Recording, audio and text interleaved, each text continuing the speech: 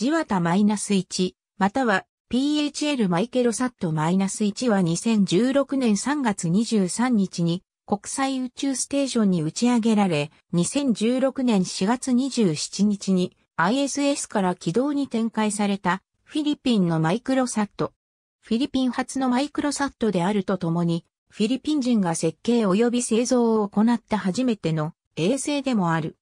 日本の北海道大学と東北大学は2050年までに50機のマイクロ衛星を宇宙に送り出す計画を構想していた。計画は災害後の被災地の画像撮影を目的としており、バングラディシュ、インドネシア、マレーシア、ミャンマー、モンゴル、フィリピン、タイ、ベトナムなどに拠点を置く政府、大学、組織などと連携し、2機の衛星がフィリピン政府に委託されていた。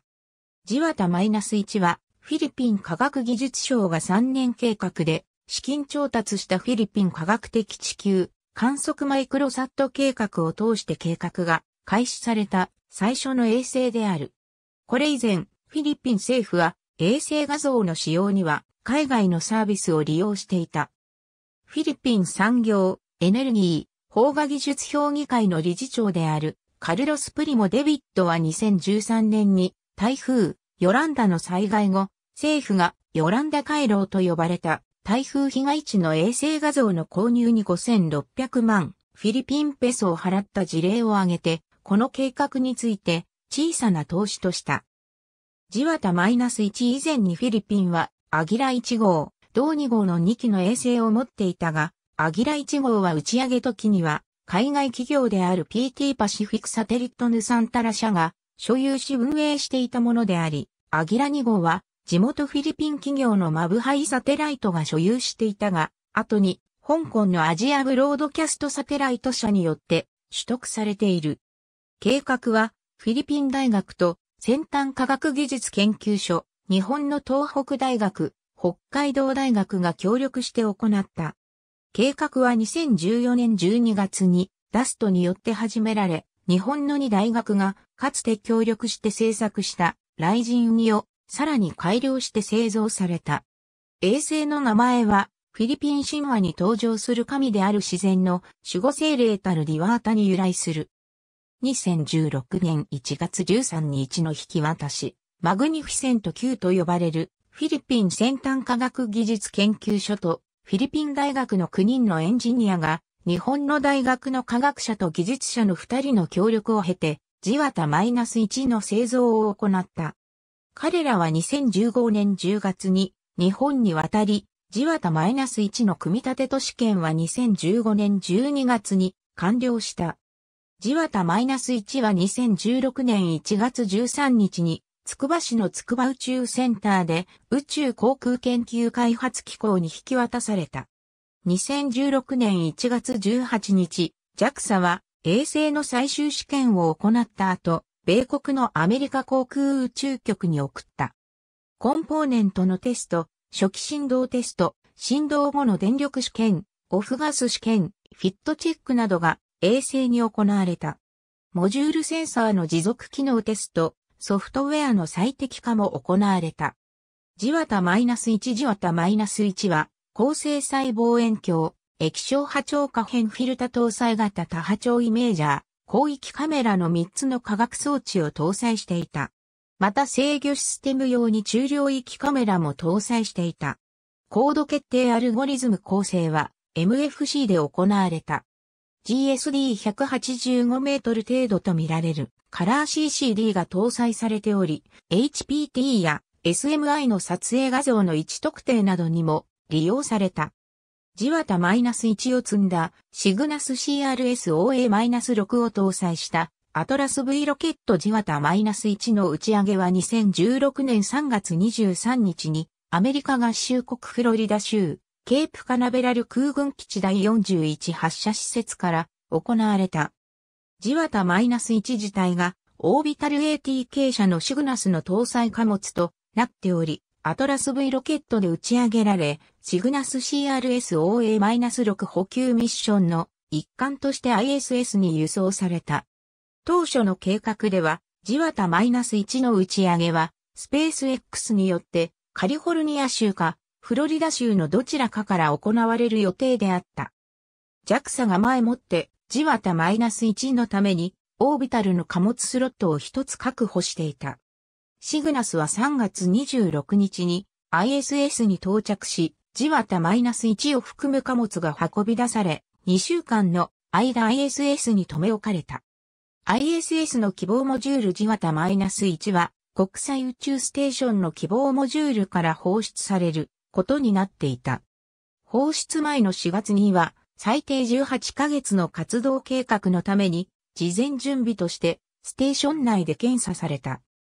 放出するのは希望に搭載されている小型衛星放出機構であり、2016年1月の時点ですでに106の小型衛星を放出しており、ジワタ -1 の放出は小型 50kg 級の衛星を放出する初めての試みだった。当初ジワタ -1 の放出は2016年4月20日か21日のどちらかに予定されていたが、シグナス打ち上げに先立ってダストは衛星の放出時期を3月21日から4月30日までの間で ISS が最も高い高度にある時にすることを JAXA に要請し、後に放出は4月27日午後7時に行われることが公表された。実際の放出作業には、イギリス人宇宙飛行士、ティム・ピークが携わり、7時45分に衛星軌道に乗せられた。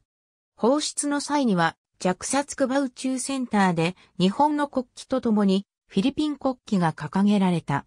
事前の衛星運用期間は最初期の予定よりも2ヶ月長い20ヶ月と見積もられていた。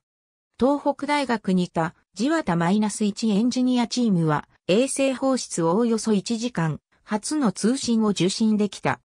シグナス打ち上げから衛星放出までの期間、 DOST 傘下の PCIEERD と DOST-ASTI のユニットによって先端科学技術研究所に一時的受信局が突貫で設置され、軌道放出後の最初の1週間程度はここで運用されている。その後フィリピンの地上組織となるフィリピン地球情報資源観測センターが UHF 隊のコマンドラインで主な衛星の制御を執り行った。ペドロは UHF 隊のジワタ -1 から送られるテレメトリデータや X バンドの画像データの受信も行った。東北大学地上局も衛星とアクセスした。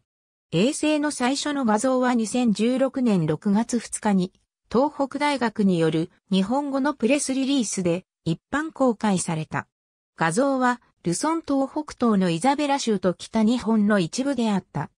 また、パラワン島海岸線の画像も撮影しており、海岸線の一部のタイドロの兆候が示されていた。2018年10月の時点で、ジワタマイナス -1 は、フィリピンの国土の32%に上る地域をカバーする14,492枚の画像を撮影した。これらの画像の中には、アンティーケシューカルや街のセミララ島やバエコの画像がある。同月の時点でも衛星は運用状態を保っており、宇宙状態が良好であれば、少なくともさらに3年以上機能できると予測された。ジワタ -1 の使用停止フェーズは2020年3月20日に始まり、高度効果を行った。2020年4月6日に地球大気圏に再突入し、衛星からの最終信号は PST 午前4時49分に受信した。